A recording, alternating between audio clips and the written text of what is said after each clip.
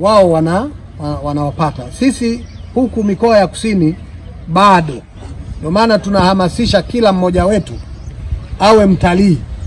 Sisi wote tunapaswa kuwa watalii wa ndani, na nina uhakika kesho atakapotembelea Matogoro au nani hapo makumbusho ya Majimaji watajifunza mambo mengi, lakini sisi tulioko hapa ni wangapi wamewahi kufika hapo kwenye makumbusho ya Majimaji?